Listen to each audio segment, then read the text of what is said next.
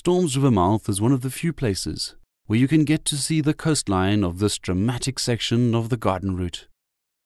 You can also swim and snorkel in the sea, and there's a restaurant overlooking the little beach and the impressive cliffs.